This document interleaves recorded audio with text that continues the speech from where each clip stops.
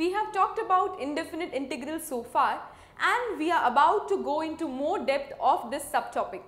So we are going to see geometric interpretation of the indefinite integral. Let's see one example and then understand things more better. I have y is equal to x square.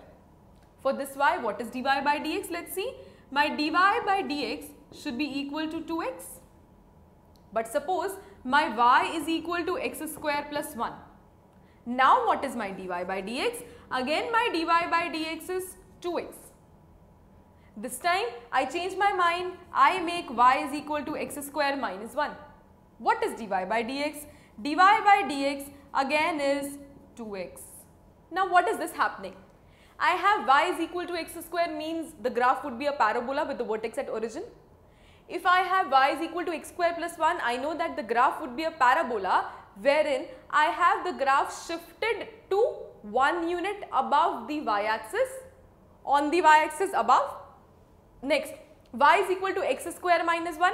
What does it mean? It means that the parabola is such that it is downwards, it is stepping downwards one unit. So, whatever I put the value of c because it is what form? It is x square plus c form. c may be 0, c may be 1, c may be minus 1 and so on.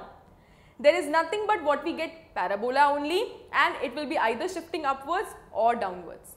So, it is actually giving me what? It is actually giving me curve and the family of the curves because this is y is equal to x square and say this is y is equal to x square plus 1, this is y is equal to x square plus 2 and so on. So that means if these curves were to intersect, suppose I have A here and I am checking at intersection point of x is equal to A, this is A suppose, let me draw it clearly. Say this is straight line and x is equal to A intersects these curves, that means it is intersecting the family of the curves. So different values of C will give me different members of the same family. That is the geometric interpretation that different different values of C in suppose I say fx dx that I am giving the integration and it is giving giving me capital Fx plus C. So different values of C will give me different members of the same family and that has been observed in the example as well.